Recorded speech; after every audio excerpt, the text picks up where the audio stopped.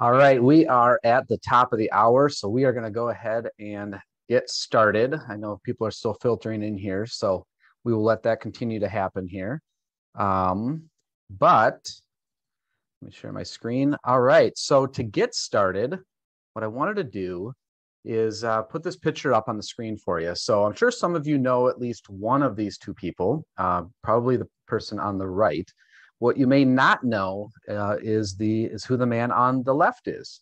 Uh, he's actually famous for delivering a talk that was based on answering this question. And the question is, what wisdom would you try to impart to the world if you knew it was your last chance? His name was Randy Pausch, a father, a husband, and a computer scientist at Carnegie Mellon University in Pittsburgh. Randy had already been diagnosed with pancreatic cancer when he was asked to give a last lecture, one in a series where professors imagine what they would talk about in their final lesson. Most people don't deliver one under such pressing circumstances, which made his lecture even more compelling.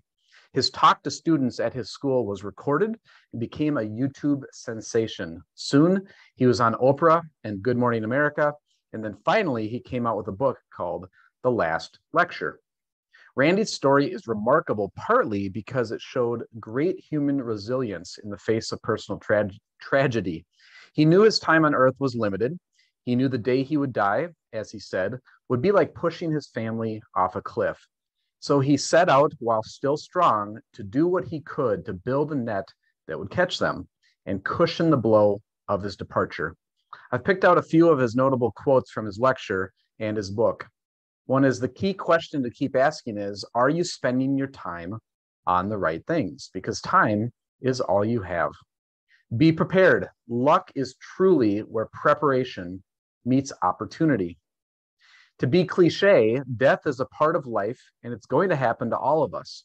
I have the blessing of getting a little bit of advance notice and I'm able to optimize my use of time down the home stretch. Randy died quietly at home in July of 2008, about 10 months after he gave his last lecture. He was surrounded by his family, and I think it's safe to say he left his family and his children and the world with a deep personal message about his values, his beliefs, his wisdom. And not just for his wife and children, but really also his children's children, the chain of generations we all have a link in. I think if you could ever say that someone had a good death, it was certainly Randy Pausch. The details of Randy's death stand in contrast to those of this man, the actor and producer James Gandolfini. You may remember him as Tony Soprano, the mafia crime boss and lead character in the HBO hit series The Sopranos. Unlike Randy, James died suddenly at age 51 while on a trip to Italy. It was a shock to his fans and his family. No one saw it coming. Unfortunately, he hadn't done a thorough job planning his affairs. He left 80% of his estate to his sisters and daughter in such a way that it triggered a painful $30 million tax bill. And unlike Randy, James did not get to play a role in writing his final legacy. Instead, his ending had a strong resemblance to the controversial last scene of The Sopranos. If you are a fan, you may remember it. Tony arranges to meet his wife for dinner at a local diner. First, his wife, Carmela, arrives, then his son, AJ. Tony orders fried onion rings for the table while they await his daughter, Meadow. Tony keeps looking at the door, checking for his daughter's arrival. The camera jump cuts to the daughter outside, trying to park her car, and then back to Tony. The tension builds. He keeps looking up. We're all wondering who's going to come in the door, Meadow or a mafia hitman. And then finally, the screen goes black. The finale to the six season series ends. The storyline left unresolved. No deathbed scene, no final words, just a jarring cut to black, just as James Gandolfini's real life ended too. So, in the opposite manner of Randy Pausch, James Gandolfini did not get to write his story for the ages. I hope you can see in our little tale of two families here a hint of the topics we're going to touch on here today. namely the importance and seriousness of thinking through your legacy and planning for the next generation. It's never too soon to do that. Now, before we go on, I just want to stop and just take a quick second to introduce myself if we have not met before. My name is Eric Hagen. I'm president of Capital Consulting Group, or CCG. CCG consists of myself, our chief investment officer, Tom Fox, uh, financial advisors Dan Oshman and Rana Grant, as well as our client support, John Knutson and Marilyn Westmark. Together, we steward long term relationships with our clients and work only for our clients. We are an independent firm. We are not owned by a bank, by an insurance company, or by some large financial institution. We are located in Eden Prairie, Minnesota, southwest suburbs of the Twin Cities. And we serve people all over Minnesota. And with our 100% virtual advisor capabilities, we also serve people all over the country as well. Primarily, we can help you see your entire financial situation, both today as well as every year into the future through our personal wealth planning services. After today's message, if you'd like to learn more about that, go to clearfinancialfuture.com and watch the short two minute video. And we give our clients life savings the attention it deserves through our Smart Mix portfolio solution. Smart Mix is our personalized portfolio solution for individual investors. So now that you know a little bit about us, let's talk about legacy planning. And first of all, I just want to say thank you for taking some of the time out of your busy schedule and committing your time to learning more about legacy planning for the next generation. Now, you may be wondering why is a financial professional up here today talking about legacy planning for the generations? Well, I do this as a service to my clients and the and our community here because I've seen some difficult, unhappy situations when families don't think about these issues. When no legacy planning is done, we see a range of unhappy outcomes that often impact multiple generations. And we'll talk more about those here in a minute. Of course, we don't want that to happen to you and your families. So that's why I do this presentation. I also want to assure you that this is not a sales presentation. You will not hear anything remotely close to a sales pitch today. And at the end of today's message, we have a nice summary of all the information that we'd be happy to get out to you. Um, uh, so stick around and uh, I'll show you how you can get your hands on this, uh, this really nice uh, kind of threefold uh, brochure that summarizes today's message. And I will also be extending an invitation to you to start developing your own legacy plan for your family. So we'll talk more about that uh, later on. Mostly, I'm just excited to be talking to you today about legacy planning. And when it comes to today's topic, it's not the stuffy old version of traditional estate planning. Instead, we see legacy planning in a broader, more positive light that will help you find meaning in your life and make sure it counts for something to your loved ones who will stay behind a while longer. As we saw with Randy Pausch in the last lecture, he recounted his childhood dreams, the outstanding people he had met in his lifetime, and the lessons he learned along the way. The lecture has been seen and read by millions of people. Now that's a legacy. Yours may not be as far reaching as his, but it will be just as meaningful to your own family, more so even because it's yours. So let's continue with trying to understand the seriousness of the problem many families face here, and then look at some solutions that can start to help you and your family avoid the worst kinds of results. We can see here one aspect of the problem that we face. Many people have not thought through how they want their money and estate handled after they're gone. They think they have forever. What could go wrong, right? And not reflected here are people who have given it some thought, but not until recently, or not fully, as in the case of James Gandolfini. If things do go wrong, maybe you die before you get everything set up. If you get hit by the proverbial bus before you even have a chance to tell people that you love them, much less write a will or start writing down your memories. It's a terrible thought, right? Well, let's just consider what could happen in the aftermath of your untimely death.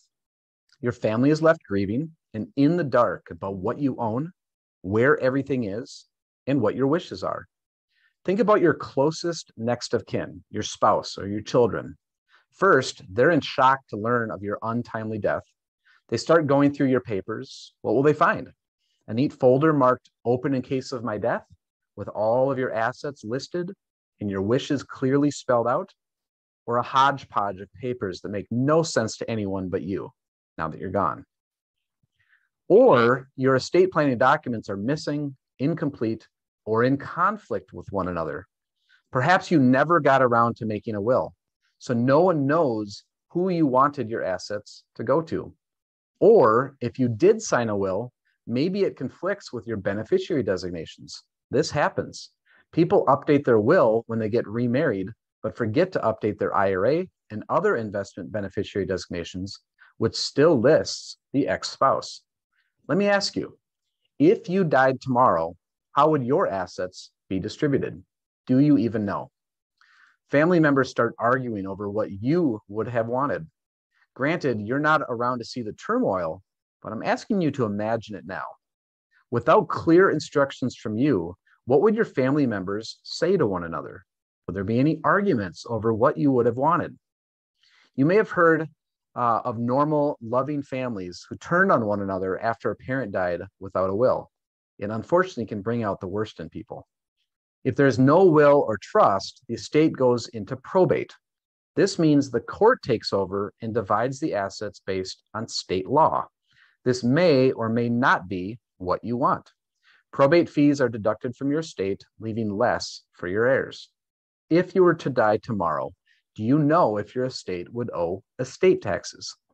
Perhaps one of the worst things to contemplate about sudden death is leaving special sentiments unsaid. There are people who say, I love you at the end of every phone conversation just to make sure it's the last thing said if they do get hit by a bus. But that doesn't really do the job of telling your spouse, your children, your grandchildren how you truly feel about them. So let me ask you if you got hit by the proverbial bus tomorrow, what things will you wish you had said to the people that you love? And in the end, the impact of your life is diminished between the confusion, family squabbles, messy estate planning, and all the things you wish you'd said but didn't. Your legacy comes up short. The aftermath of your death is not nearly as positive as it could have been. And what else could go wrong? For some, a fate worse than death is sudden incapacity. You suffer a stroke, you get hit by the bus, and rather than dying, you end up in a coma. In some ways, this is worse than dying unprepared because you have to go on living. So, who will make your decisions about your health care? Someone you love and trust? Or will you be at the mercy of someone you didn't even know because uh, you didn't set things up properly? Here's what can go wrong your medical wishes are not honored because nobody knows what they are. Hospitals are obligated to do whatever is necessary to keep people alive, even if it involves ventilators and feeding tubes. If this is not what you would want, you have to state those wishes now. If you want to appoint a loved one to make medical decisions on your behalf, you have to set this up now while you are still of sound mind and body. And here's what else your money is frozen your bills go unpaid and your investments are left unattended because you never signed a power of attorney appointing a trusted person to act on your behalf. No one else has the authority to transfer money or pay bills or do anything with your finances as long as you are incapacitated. So here's the problem. Planning uh, people equate estate planning with death planning and therefore block it out and never do anything or not enough. The quote here sums it up. One of the greatest obstacles in estate planning is the perpetuating of death denial. Most people don't want a plan for post death lives because death is a scary topic to even think about. This is true both on a financial level, but also, probably more importantly, on an emotional and spiritual level. That lifetime of experiences, hard earned wisdom and insight that make up our values, never get discussed and never get passed on to the next generation. And that's the real loss for everyone. Now, you may be thinking, well, my family knows how I feel about them.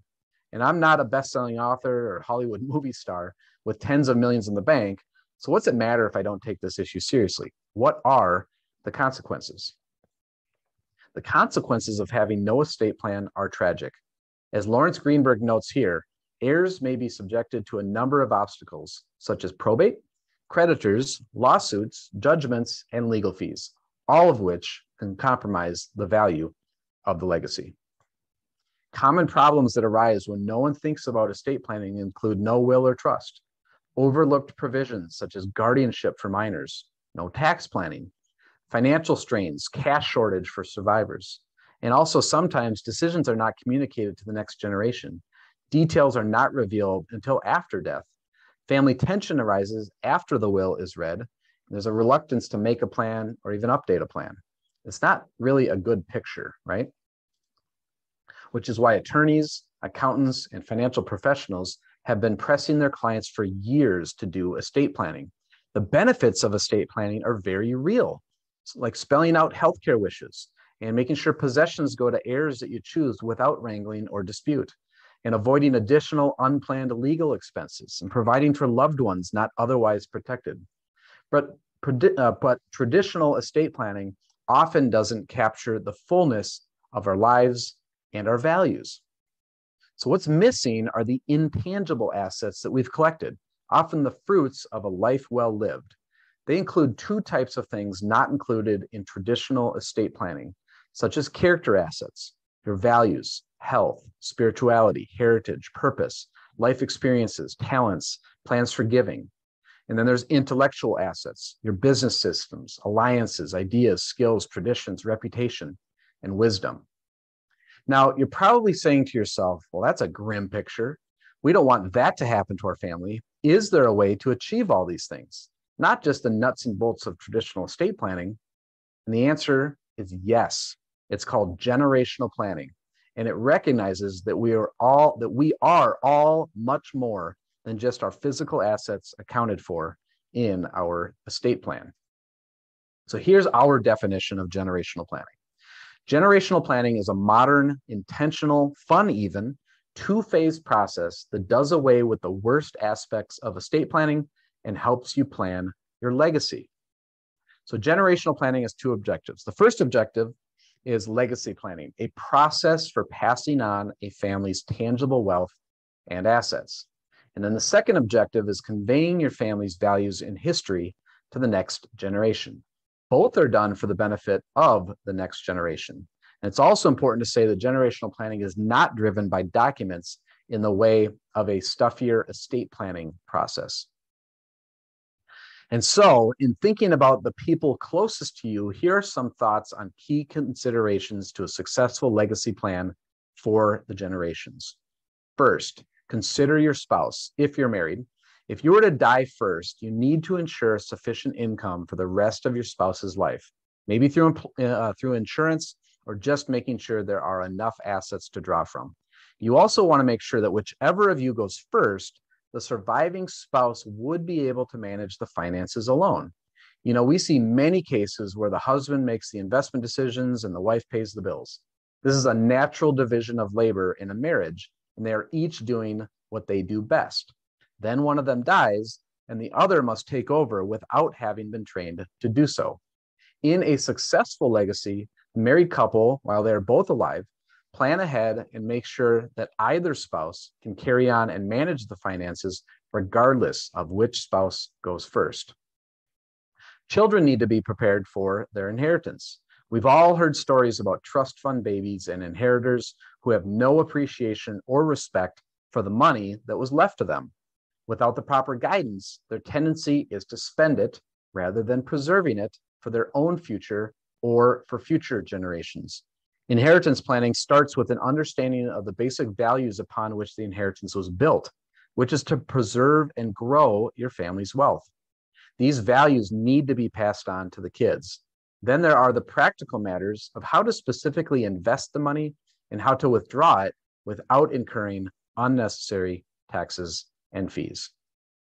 As for the grandchildren, you want them to understand how you lived and what you lived for.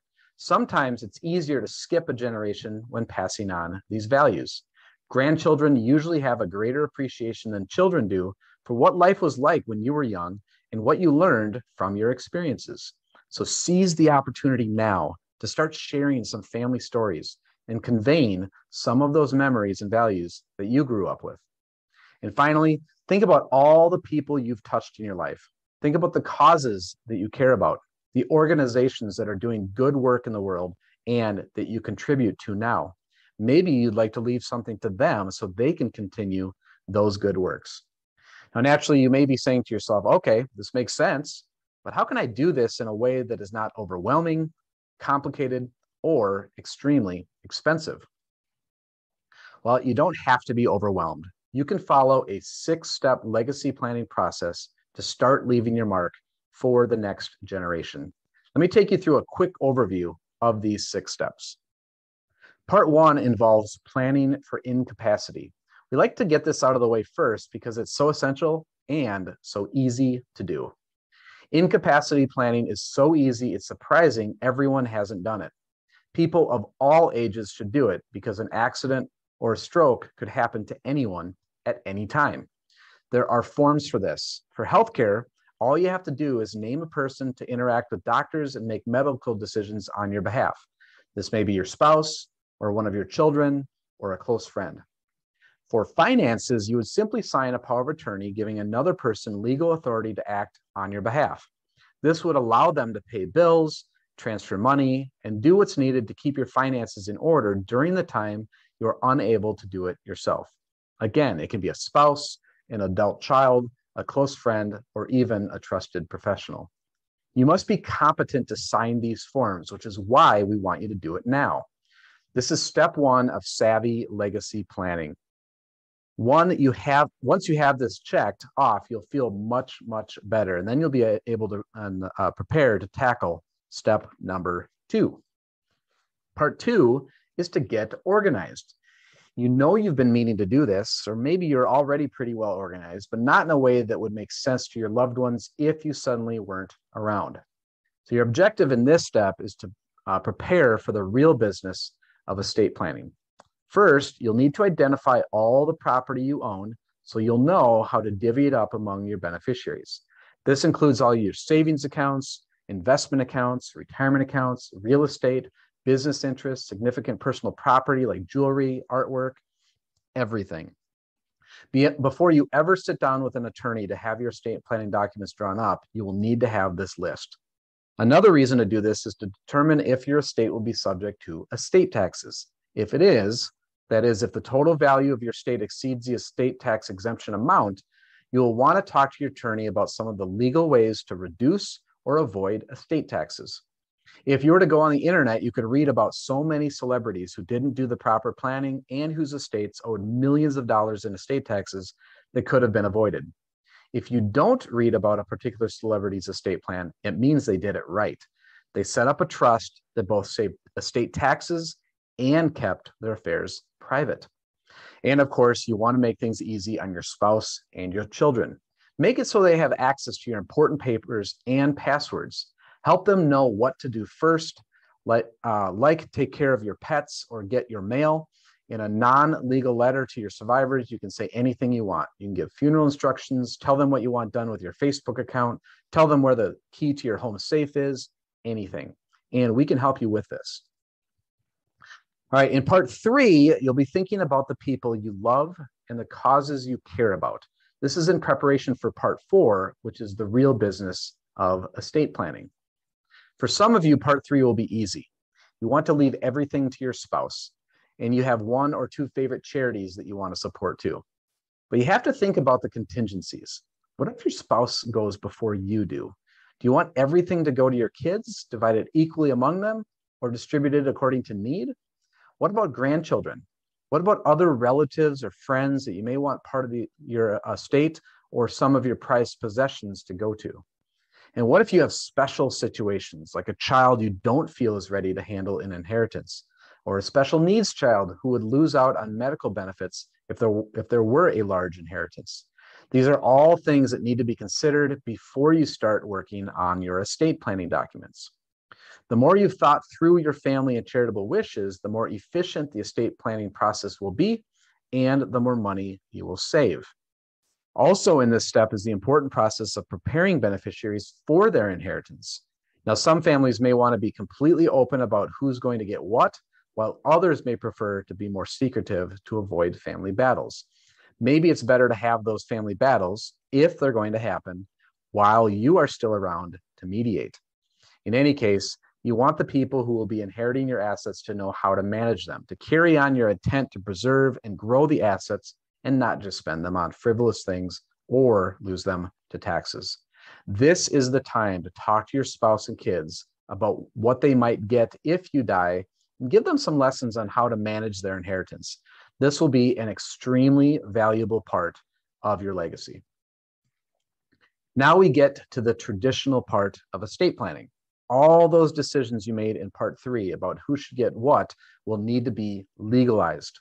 That is, there will need to be a mechanism to transfer those assets to your loved ones in a legal manner. So let's take a look at that. Now, this isn't always done via a will. Sometimes you can transfer assets through account titling.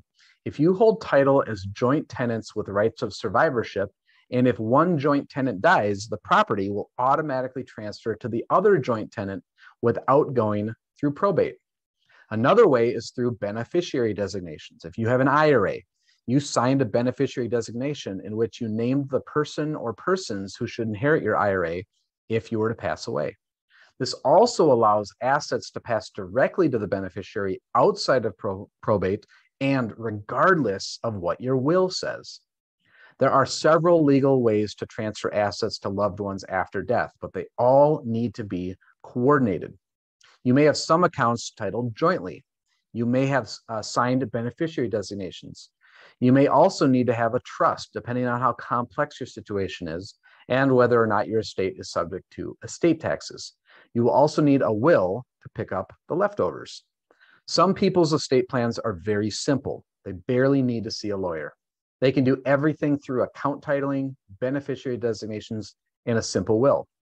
Other people do need more legal advice. We can help you make that determination and refer you to an estate planning attorney when we uh, get to this stage of the process. Or if you have an attorney that you already work with, we can work with that attorney to coordinate things on our end, such as making sure your accounts are titled properly. Depending on how much thought you gave to your beneficiaries in part three, this step should be pretty quick and straightforward. It's a matter of executing the wishes you already identified. Laying all this groundwork in part three will save on legal fees. At the same time, you don't want to rush anything. Talking with an attorney can sometimes make you aware of possibilities that you didn't know about before, such as planning for contingencies or drawing up the documents so that they cannot be contested. Good attorneys definitely earn their fees. Now we get to the fun part creating your family legacy. This is where you really make your life count for something by leaving behind a piece of yourself. Now, how you do this will be up to you. We have worksheets and guidelines and get you started. You might start by simply capturing memories and writing down certain thoughts, such as what you want your children and grandchildren to know about you. You may be planning to compile family photos or favorite recipes to hand down. Maybe you have a special skill, such as gardening or woodworking, that you would like to pass on to certain family members. Now is the time to start thinking about these intangible assets that will make your legacy so valuable to your family. Chart six comes later, but it's no less essential than parts one through five. It's great that you're doing all this planning early, long before you plan to leave this earth, but that means a lot can happen between now and then. So you will need to keep an open eye on your plan and revise it if anything changes. Your plan is not set in stone. As your family composition changes, you will want to revisit your plan. Whenever there's a marriage, a divorce, a death, birth of a child, you'll want to take a look at your plan. Or you might change your mind about something. You can always amend your documents for any reason at all. Remember, having the wrong people inherit your money is almost worse than no estate plan. So that's our six part legacy planning process, and we're getting close to finishing. So let's review it briefly. We started by looking at all the differences between the Randy Pausch story and the, the James Gandolfini story. And the key takeaway there was that your legacy is going to be written no matter what, for better or for worse. So let's make sure we control the final narrative of our life because things can happen suddenly death or incapacitation. And we saw the consequences of not being prepared the pain, confusion, and anger among family members left behind. Then we were introduced to the concept of generational planning and saw how it differs from traditional estate planning. And that led us to the understanding that the first step in generational planning is to ensure that our tangible wealth and assets get left to the right people or organizations. And then to do that, we've just introduced you to the six major steps in the legacy planning process. And as you look at those six steps, you're possibly thinking that that sounds like a lot to achieve. I feel that way too, because it is. But what we found over the years is that when we work together and guide people through the generational planning process, they experience two things. The first one is great relief that it's done. The second is new excitement and renewed energy to focus on the non financial aspects of generational planning. This is the reflective part. It's not legal, it's not business. It's the part where we get to look back on our personal journey and share the stories that we carry in our hearts. This is our gift to the next generation. They may, there, there may be words or stories, pictures or actions. They may provide hope. They may provide healing. But just as important are the things we say and do that bring us meaning because we realize that we are the carriers of wisdom for our family. And from generation to generation, each of us is a link in the chain that binds our families together. And that link is the mark that we leave, our legacy. And that's why I think many of you are here today and why I'd like to make a suggestion. Let's work together. Hopefully, you are all motivated now to get started on your legacy plan. So let's maintain that motivation by taking action. Here's the idea working together, we will develop a plan for doing the many things that need to be done. One of the reasons people don't get around to estate planning is that the tasks seem too overwhelming and that they don't know where to start. So we would like to break it into chunks for you where we set some goals and establish a timetable for implementing them. For example, in week one, you might sign your healthcare directive. In week two, you might sign power of attorney for financial decisions. We have a checklist of things that need to be done to get your plan in order. And together we can go through that list and check things off as they're done. Working together, we can help you stay on track. We can also share resources. If you need a referral to an estate planning attorney or tax advisor, we can introduce you to some of the professionals that we work with, um, with whom we know are good at what they do. By working together, we can hold each other accountable. We'll have frequent check ins and deadline dates for getting things done. This is all for your benefit to keep you motivated and engaged so you'll carry through on your plans. And we have a way for you to start even right now. So, where do you go from here? Well, let's start with a complimentary legacy planning assessment to see where you are now in the planning process. Imagine how you will feel when your legacy is all set. A trusted person is ready to step in and help with healthcare decisions or financial dealings if it becomes necessary.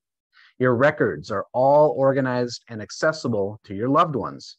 Your spouse and other loved ones will be provided for after your death. By leaving behind both tangible and intangible assets, you will be remembered for your unique contributions to your family and the world. Legacy planning is not hard. You just have to get started. So let's work together. And that brings us to the close of this formal presentation. Again, a great place to start is with a complimentary legacy planning assessment. And this helps us see where you are now in the planning process. If you'd like to take advantage of this, just go to our website, click on schedule an appointment, and then look for legacy planning assessment. And to get directly to my calendar, you can go to www.schedulewitheric.com. And uh, again, just scroll down to where it says Legacy Planning Assessment. All right, that is it for today's message. Thank you again for taking the time to be here with me. I do hope to see you on the calendar soon. And I hope that you found a lot of value in today's message. With that, I wish you a wonderful rest of your day, and uh, I'll look for you soon. Bye now.